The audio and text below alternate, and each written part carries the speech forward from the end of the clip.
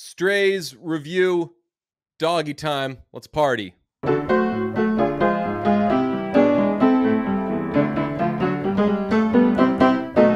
Brunch.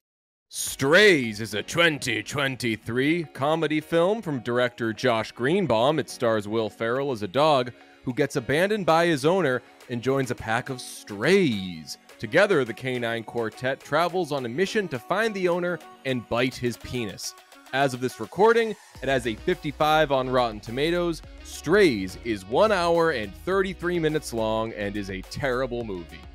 It is bad. It's Bad bad. movie, brother. It takes a lot for us to be like, this is a bad movie. I don't know how many times we've ever said that when sitting down to review a movie where we're both like, this movie is bad. Two But guess what? down. This movie stinks. It stinks. It's not funny. It is lowest common denominator humor.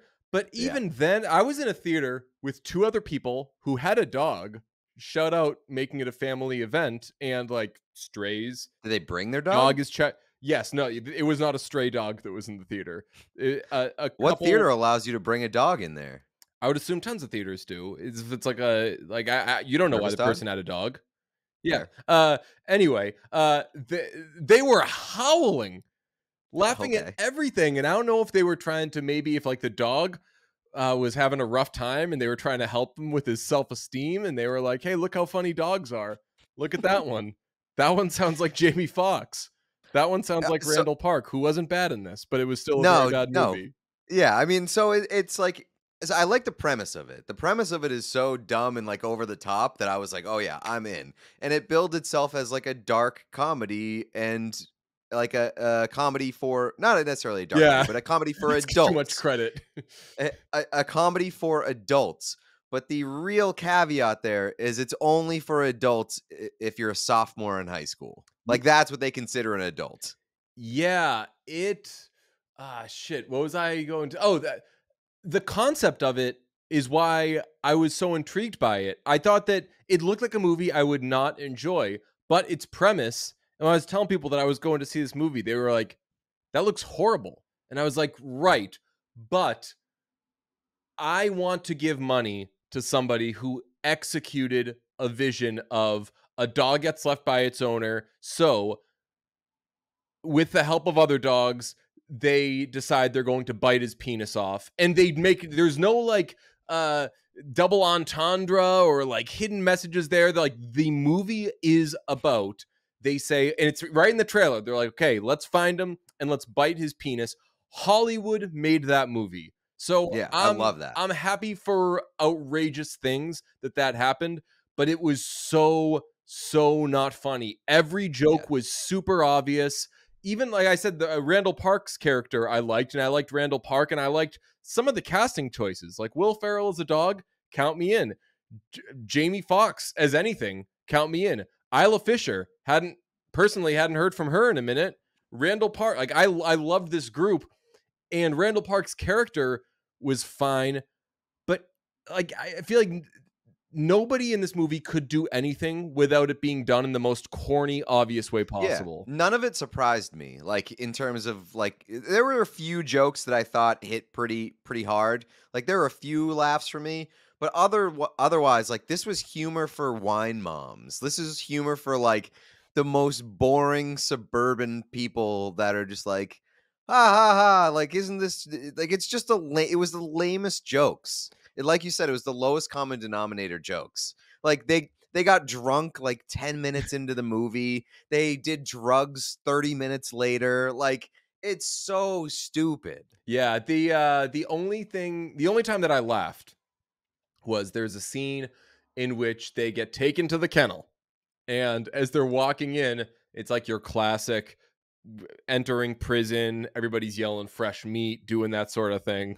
And Mhm. one of the dogs in the kennel went Yeah, that was pretty funny. that made me laugh out loud. and that was the only time in the entire movie that I laughed.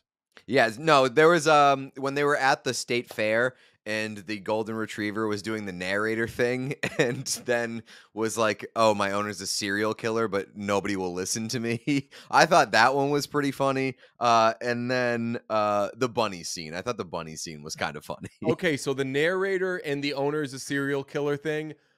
Again, super It wasn't- telegraphed. Like I, I liked that. yeah, it I- wasn't executed well. I like liked super well. that they did give a little nod and a wink to the trope of doing a talking animal movie. That like, hey, it could be worse. It could be this type of talking animal movie. And then yeah, the owner who's being cutesy with the girl is gonna kill her. Uh, I, what I'll give them, and I mean, we can just jump right into the positives and negatives if we want, because I don't know how much there is to say about this movie other than it sucks. The biggest positive I'll give it is it does deliver on its promise. And not that, Yeah, spoiler alert, not that it bites the penis. We knew it was going to bite the penis.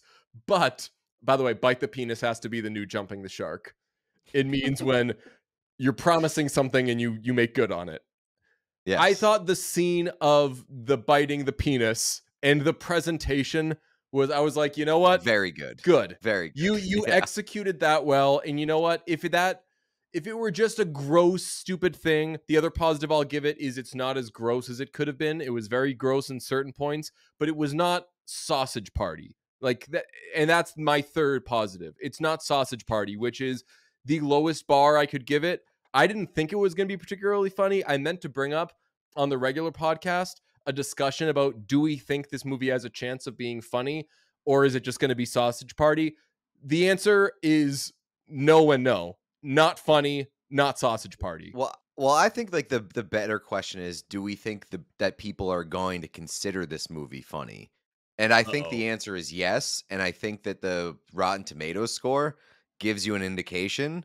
Like fifty five percent is way higher than I expected this to come in at, and that's from critics who are typically pretty tough on on comedies. Like we've seen comedies that we've really liked, and they've been in the twenties and thirties and this movie's got 55% which is crazy to me and that makes me think that a lot of people are going to find this funny but again like i i really think it's going to be like a litmus test for me to like like how funny are you like what is your level of humor that you find this movie funny and you're like over 16 years old Buddy, it's got an audience score of 71.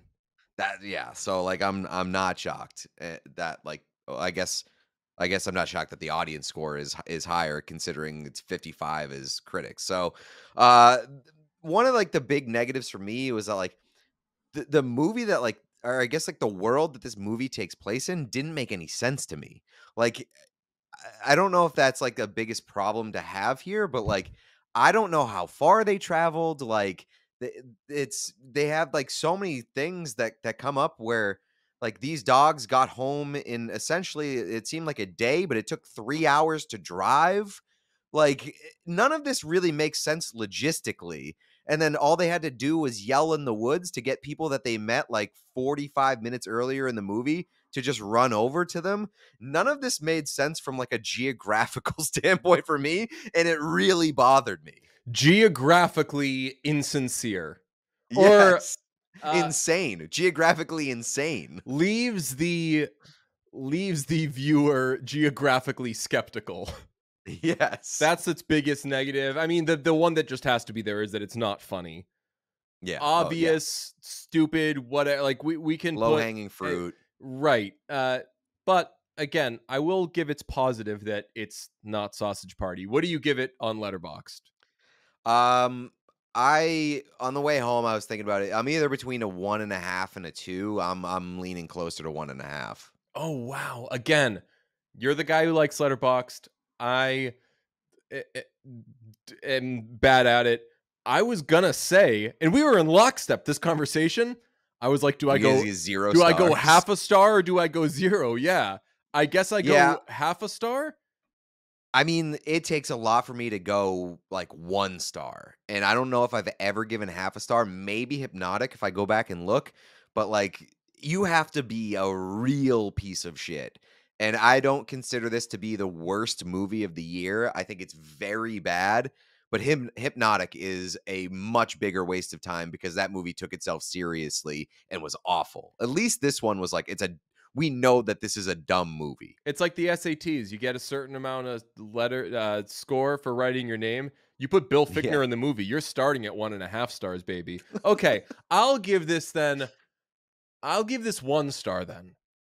okay I hate to wear. that's that's got to be the lowest cumul- cumulative that we've had I mean, it was a bad. I don't know about you. I personally, I thought it was a bad movie. So I think that it's uh, okay. If I mean, something's got to be the lowest, and this was, as fruit goes, low hanging.